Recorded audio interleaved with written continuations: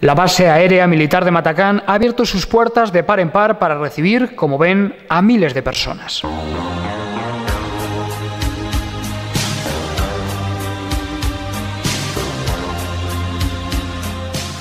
En su interior los salmantinos han podido ver de cerca e incluso tocar los pájaros de acero del ejército, unas máquinas de alta precisión que en pocas ocasiones están así a la vista y en contacto de la gente.